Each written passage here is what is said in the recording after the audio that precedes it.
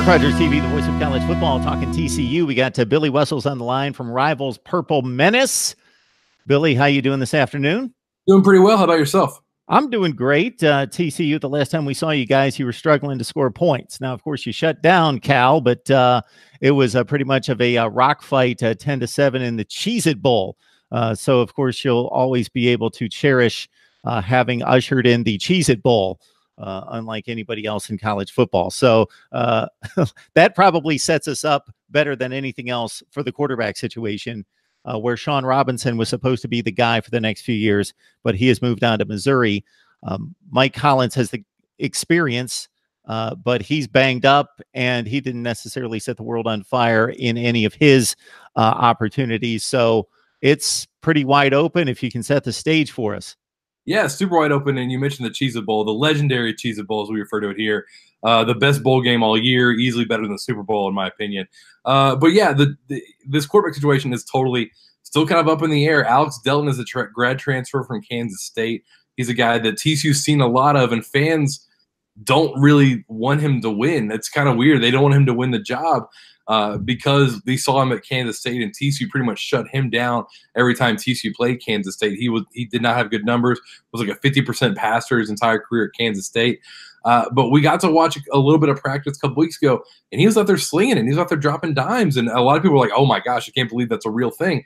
I think giving this guy a, a chance to play in a real offense and not Kansas State's uh, 1875 offense that that uh, that are oh, I can't think of his name already. The old coach that just just retired. Uh, are you uh, disparaging Bill Snyder? Snyder, the legend Bill Snyder. Uh, yeah, but his his thing was old and, and well, not not his thing. His offense was old. Uh, his offense was old and, and, archaic, and now you get Alex Delton kind of a new a newfangled offense with Sonny Cumbie involved and in, in, in, charge of growing and developing him.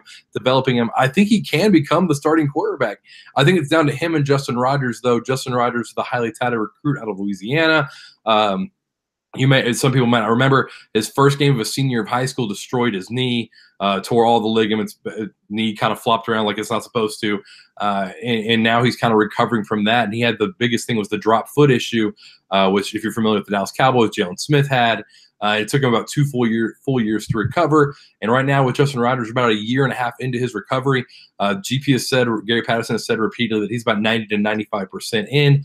Um, so he's close, and I think if the season were to start, I think Justin Rogers wins the job. I think Rogers uh, is going to be fully healthy and good to go come the fall. But I think there's room for Alex Delton to play a little bit, whether it's a, we call it the wild frog here. Everyone's got that little wildcat package they use. Uh, give him an option to throw the ball. They've run the wild frog a lot the last couple years, both running back that has never attempted a pass.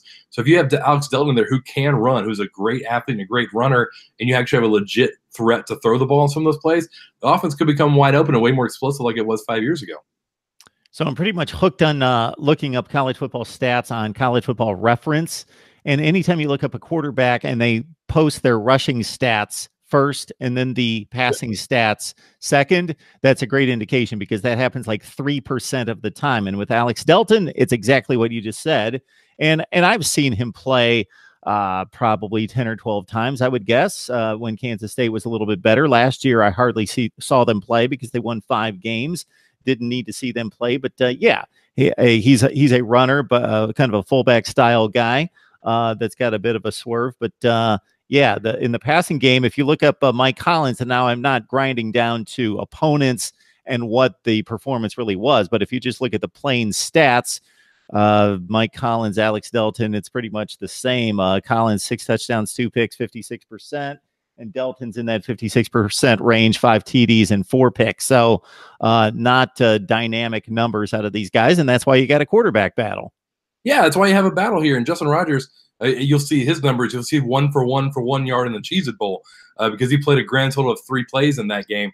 Uh, one was a, a, ball where he, he kind of got rushed, got sacked, and I was able to bounce off a guy I think, I think a zero yard rush out of it. Uh, and then like ran for a zero yard gain out of bounds, and then completed a, literally a one yard pass or something like that. But he was the one guy to not throw an interception in the Cheez It Bowl, uh, which is impressive to say nonetheless. But I think if he's healthy enough to play at least a little bit in the bowl game, he's healthy enough to play in any game. So I think he's the edge. He's got the edge right now. I think he'll be the guy uh, come fall, and that's who fans want to see. They want to see Justin Rogers be the guy. Four star recruit out of Louisiana, kind of local. It's only three hours away where he's from. Uh, you want to see him play, and and he's probably the best chance for this offense to be successful.